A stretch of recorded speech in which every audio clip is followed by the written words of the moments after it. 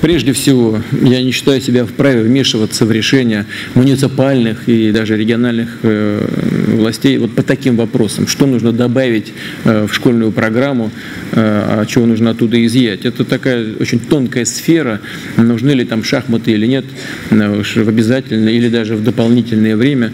Это должны все-таки определять на месте. И, и здесь компетенция даже часто школ, а не муниципалитетов.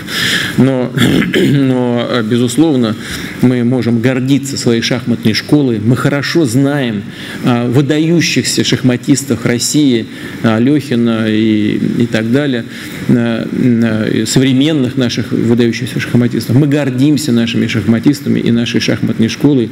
А, вы знаете, что мы специально создали направление в Центре для одаренных детей в Сочи, в центре «Сириус», где эти занятия организованы на, на соответствующем уровне. Но это, конечно, этого недостаточно. Нужно, чтобы шахматы развивались по всей стране. Очень рассчитываю, что и у вас в Перми, да, вы из Перми, что и в Перми тоже на это э, будут э, обращать внимание и, и, и поддерживать и тренера, которого вы, вы сейчас назвали, и, э, и всех, кто любит шахматы.